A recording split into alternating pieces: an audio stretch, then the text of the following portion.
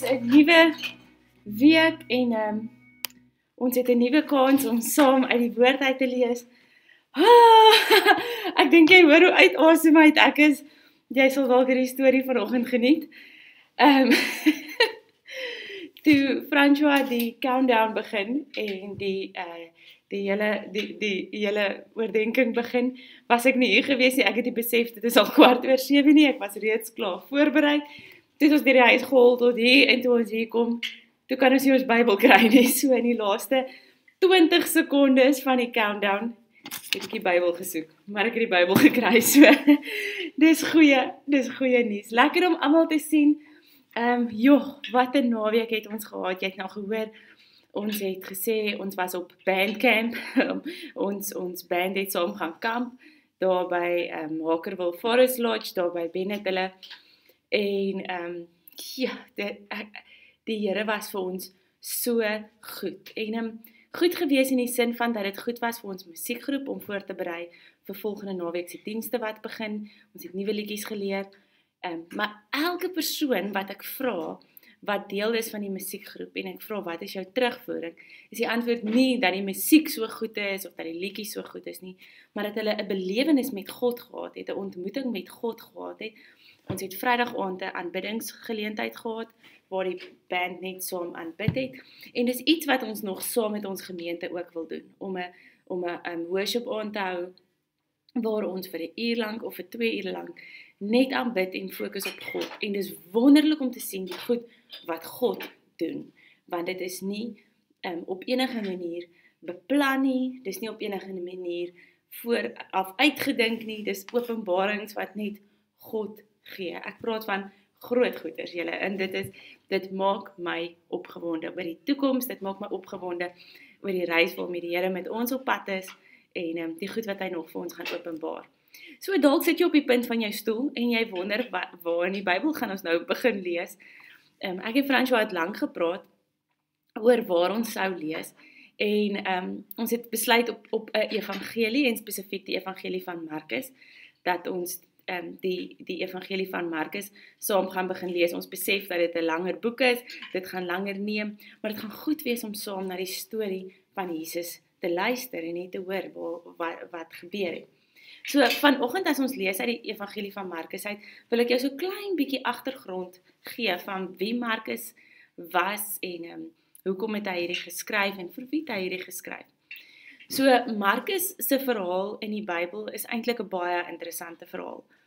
Uh ons lees op 'n klomp plekke in die briewe van Paulus en Handelinge en in Petrus lees ons van Markus alhoewel sy naam nooit in een van die evangelies ehm um, dat ons daarvan lees nie. So sien ons byvoorbeeld dat Markus is in die, die eerste wat ons lees van Markus is in Handelinge 15 waar die disippels, miskien ken jy die storie, saam gebid het vir Paulus toe Paulus in die tronk was en dit het gebeur in die huis van Markus se ma, Maria. En wat veral belangrik is, is dat ons lees in in 1 Petrus dan verwys Petrus na Markus as Markus my seun. So Petrus ons dit word wyd aanvaar dat Markus nie noodwendig Petrus se seun is nie, maar dat Markus 'n uh, um, dat dat hy 'n geestelike seun vir Petrus was. So ek wil hê jy moet hierdie hoor baie mooi want dis een van die goed van die Bybel wat ons wat ek wat ek persoonlik heeltyd na opsoek is en wat ek hoop jy na opsoek is is wat was die kultuur of die gebruike of die waardes in die vroeë kerk want ek glo vas ons kan nie presies kerk wees soos die vroeë kerk was nie want ons lewe in 'n ander tyd. Die vroeë kerk het nie ge-livestream op 'n Facebook op Facebook in die oggende nie. Dit was nie vir hulle moontlik nie en omdat hulle dit nie gedoen het, beteken dit nie ons moet dit net doen nie.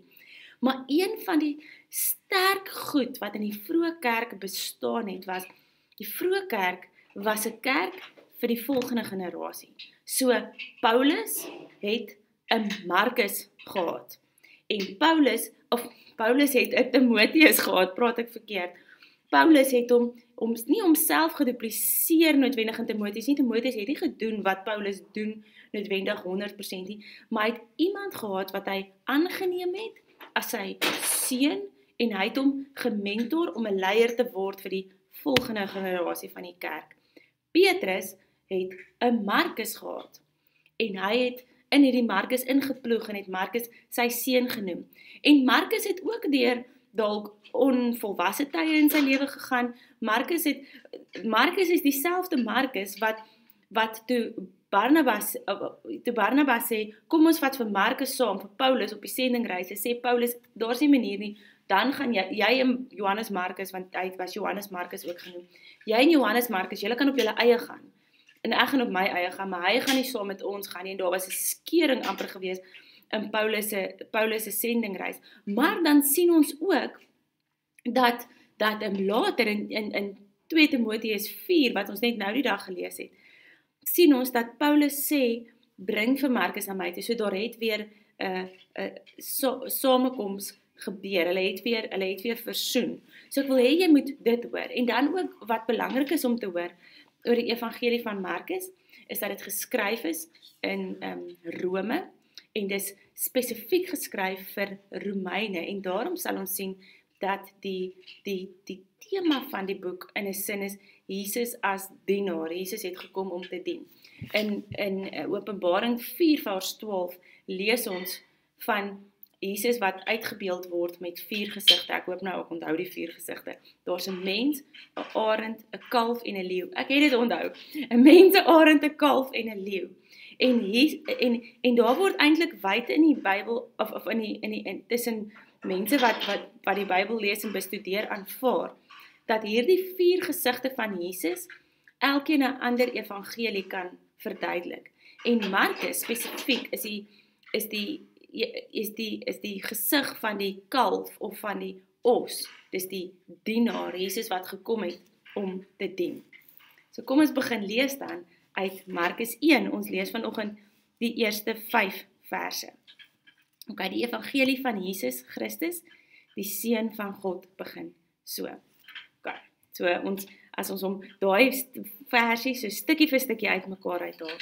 Evangelie beteken die goeie nuus en ehm um, die die evangelie beteken ook die goeie goeie tyding wat aangebreek het. Wat interessant is is in die Romeinse ehm um, tradisie was hierdie woord ook soms gebruik om die verjaarsdag van die keiser wat as God aanbid is aan te kondig.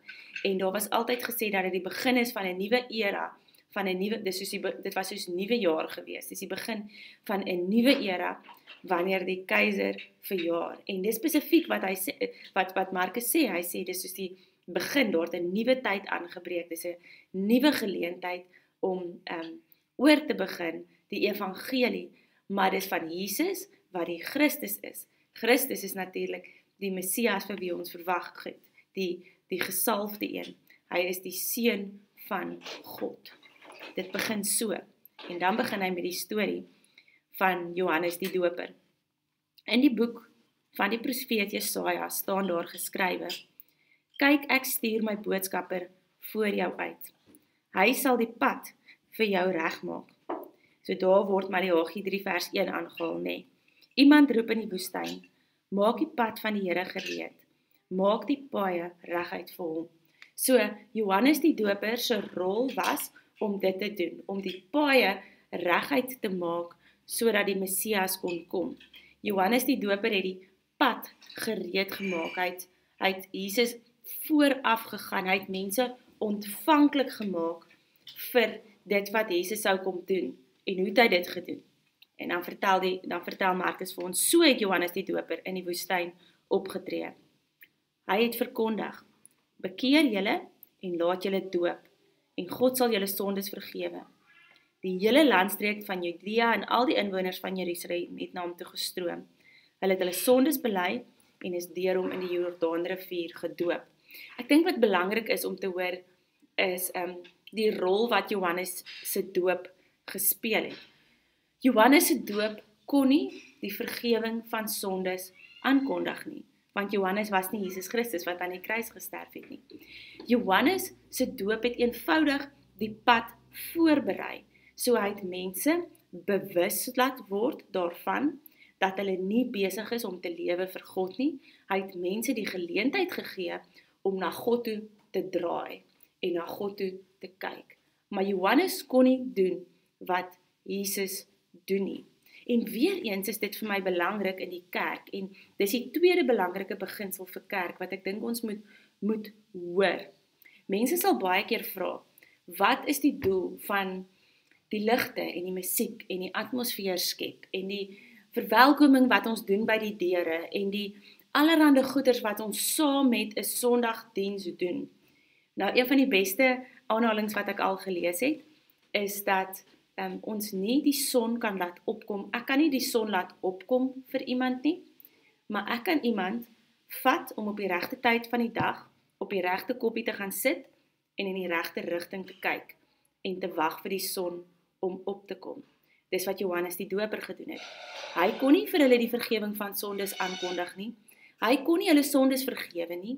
Hy hy kon eenvoudig die weg gereed maak vir Jesus wat kom. Hy het dit gedoen deur die doop, ehm um, deur hulle te laat doop, deur hulle te laat bewus word dat hulle 'n Messias nodig het, mense te laat bewus word daarvan dat hulle ver van God af is en te sê die Messias is naby. En op 'n Sondagdiens is ons besig om dit te doen. Ons is besig om elke stukkie, elke stukkie van van ons kerk wees, elke stukkie van mense verwelkom om li, li, liedere saam te sing, om te aanbid, om um, om om om 'n vibe te hê in 'n die diens. Alles is maniere hoe ons besig is om die pad gereed te maak sodat Jesus kan inkom en kan doen wat hy doen. En Inel het nie beheer en Frans wat nie beheer en die musiekgroep het nie beheer oor wat hy daar doen nie, want hy doen wat hy wil doen. Maar ons maak die weg gereed deur dit wat ons doen. Ek hoop dat jy 'n geseënde dag het en ehm um, dat jy vandag vir jouself die vraag gaan afvra op watter manier is ons besig om kerk te wees vir die volgende generasie? Wie mentor ek? Watter jong mens of jong gelowige se lewe ploeg ek in? Het ek iemand iemand wat in my lewe mentor? Dit kan jy vra. Het ek iemand wat in my lewe inploeg met wat ek 'n geestelike pa of 'n geestelike ma kan noem. En die tweede ding is, hoe kan ons die weg van Jesus gereed maak om sodat hy dit kan doen wat hy wil doen, wat net hy wil doen. Mag jy 'n absolute geseënde oggend hê.